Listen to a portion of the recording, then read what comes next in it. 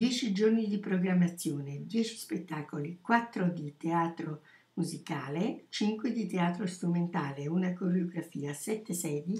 Teatro Costanzi, Teatro Argentina, Auditorium Parco della Musica, Teatro India, Teatro Nazionale, Teatro di Villa Torlonia, Villa Medici. Queste in cifre la prima edizione del Festival internazionale di teatro musicale contemporaneo presentato dal Teatro dell'Opera di Roma sotto la direzione artistica di Giorgio Battistelli, che si svolgerà a Roma dal 27 maggio al 9 giugno 2016. Buongiorno, buongiorno, a tutti, benvenuti, vi ringrazio di essere presenti a questa conferenza stampa di questo eh, nuovo festival, nuovo festival non del Teatro dell'Opera di Roma, ma nuovo festival della città. Non è un caso che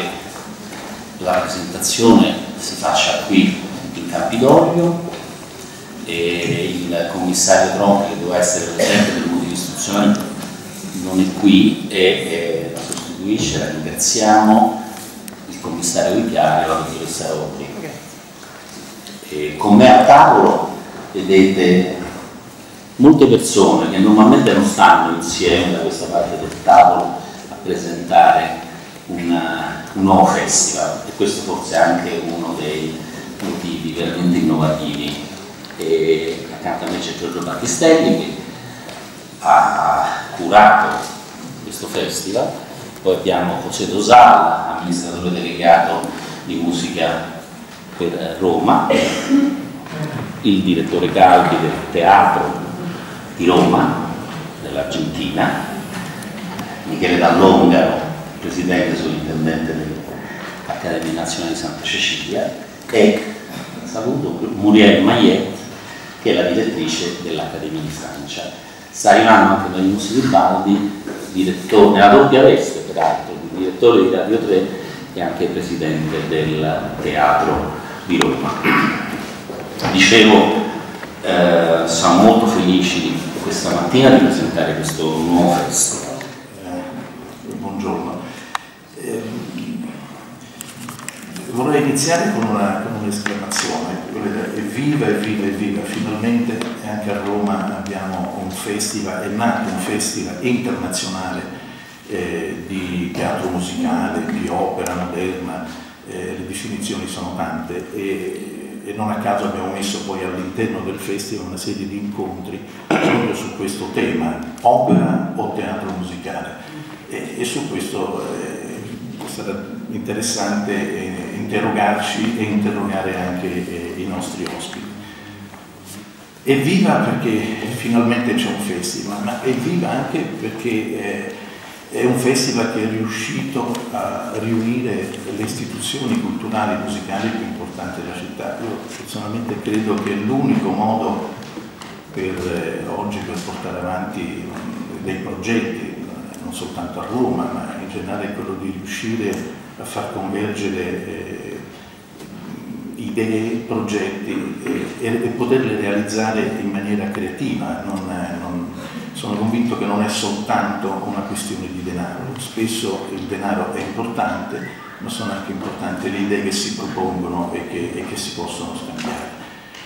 È un festival che mira a, a recuperare anche un tempo che abbiamo,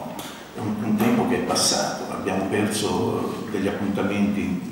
molto importanti, direi più o meno dagli anni 50 a oggi, quindi mezzo secolo abbiamo perso. Dobbiamo recuperare quel tipo di esperienza. Eh, mi riferisco a una forma che è quella del teatro musicale da camera, che è una forma che è stata fortemente penalizzata in Italia, e poi quella del teatro contemporaneo, del teatro moderno. Ecco, poi eh, e quindi in questa prima edizione eh, abbiamo deciso di, eh, di, proporre anche lavori che non sono stati prodotti eh, in questo anno, in questi ultimi due anni. Ci sono lavori che, eh, che sono stati importanti nel passato e che sono importanti per la storia del, del teatro musicale contemporaneo e che il pubblico italiano non ha mai visto